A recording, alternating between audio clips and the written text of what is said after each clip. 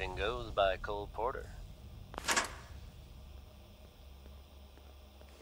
Travis Lonely Miles here, with the latest news update from the Commonwealth. And this one sounds heavy.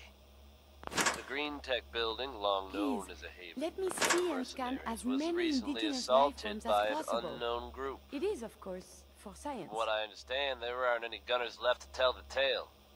If that's true, it's a little unsettling. Those guys meant business. There are rumors circulating that the Institute was somehow involved. Now, I know they come up every time something bad or unexplained happens.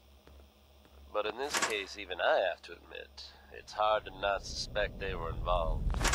Don't jump to conclusions, but keep your wits about you, folks. And don't worry.